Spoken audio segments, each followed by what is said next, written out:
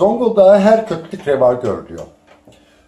Kandilli ve Terziköy'ü arasında bulunan ormanlık alanında 2010 yılından bu tarafa Borcam'ın Silis kumu, Silis kumu madeni çıkarma çalışmaları var. Silis kumu altın madeni çıkarma yöntemiyle aynı yöntem. Üstteki ağaçlar kesiliyor, arka, altındaki topraklar alınıyor, bir kimyasal işlemden geçiliyor e, ve daha sonra işleme geçiyor. Bu bölgede e, siyanür yok ama çok ciddi kimyasallar var. Bu kimyasallar zaman zaman denize bırakılıyor, zaman zaman dereye bırakılıyor, zaman zaman kandilin içme suyuna karışma riski de taşıyor. Oradan su içen yaban hayvanları ölüyor. Bir kezinde Terzi köyünün muhtarının av köpeği su içip ölmüştü. Şimdi on binlerce ağaç kesildi.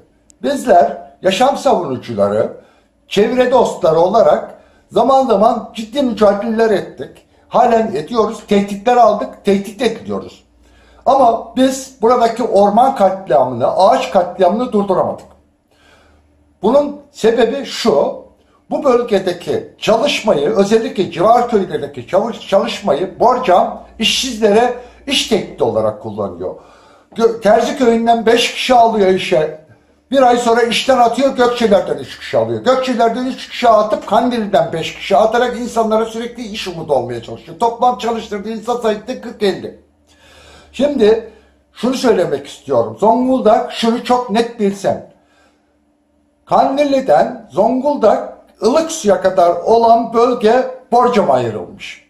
Burası bizim bütün Zonguldak bölgesinin akciğerleri. Tıpkı Gümeli'de Aşağı Dağ köyünde altın madeninde olduğu gibi. Altın madeniyle ilgili e, bir dönem bir mücadele yürüttük. Şu an Aşağı Dağ köyündeki sondaj çalışmaları durduruldu. Gümeli'deki çalışmaları META devlet adına rezerv belirliyoruz diyor ama önümüzdeki dönemde çok ciddi bir şekilde bir e, çölleşme yaşayacak bölge. Bu arada köylüleri ve bizleri korkutmak için e, Alaplı Cumhuriyet Savcılığı tehdit anlamında bir dava açtı bize. 7 Ocak'ta bu dava görülecek. Herkesi bölgemize, çevremize, ağaçlarımıza, ormanımıza sahip çıkmaya davet ediyorum. Özellikle milletvekillerini, özellikle siyasi partiler. Bu iş siyasetler üstü bir şeydir. Bütün Zonguldak'a göreve davet ediyorum.